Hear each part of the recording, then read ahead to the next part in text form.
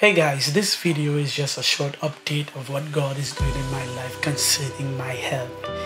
I am so excited about what God is doing right now. Um, just to refresh you guys, three months or a couple months ago, I was diagnosed with a primary brain tumor called a glioma. I've been to three different neurosurgeons, all said the same thing I need surgery. I remember one of the doctors told me are you a praying man? I said, Yes, I am. He said, Tell your intercessors to start praying because you need surgery now.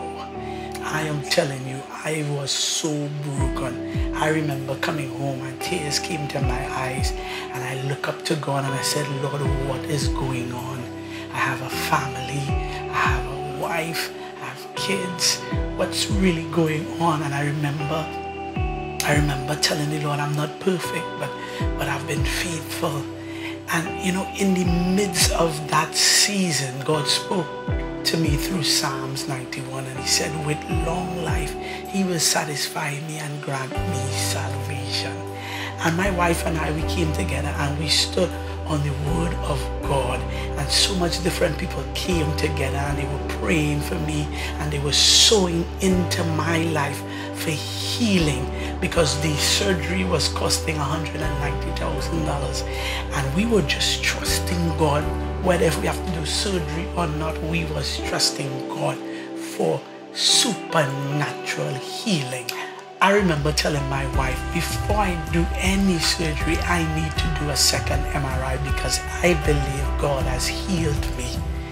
So we decided to do the second MRI without doctor's approval. So I called a friend of mine and we, we asked him for an approval letter to get the MRI done. As soon as we got the MRI done, we went to a doctor and when he saw the two reports, he jumped because the first report was a primary brain tumor. Um, it's called a glioma. And if you understand what is a glioma, a glioma is a dangerous tumor. It's something like a brain cancer. And the next report was some small, some blood vessels in my brain that create a cyst. That's the difference between two reports. So the doctor was so surprised by it. He sent the report to New Zealand and we are still waiting on the report from the radiologist from New Zealand. So I went back to the same doctor that told me, are you a praying man? Tell your intercessors to begin to pray. And I went back to that doctor yesterday he looked at my report and he looked up to me and said, my God, you are praying man, boy. Prayers work. And I smile. I say, it's not only my prayer, but there are so much people join together with me in prayer for healing. He said, whatever you're doing, continue doing it. And he also told me that I don't need surgery. Bless the Lord. I don't need surgery anymore. He said, all you have to do is just monitor it, do a third MRI at the end of the year and come back to me. So I'm just giving you this report that God has done it again.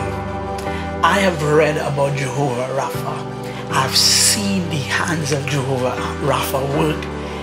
But this season, I have personally witnessed the hands of Jehovah Rapha in my life. And I owe it all glory and honor to God, who is my Lord and Savior.